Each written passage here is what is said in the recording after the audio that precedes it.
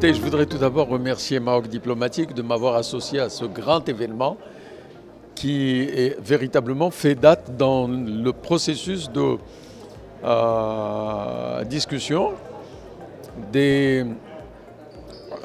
du contenu de, la feuille de route du nouveau modèle de développement qui a inclus la digitalisation comme un levier euh, stratégique fondamental pour la réalisation de ce nouveau modèle.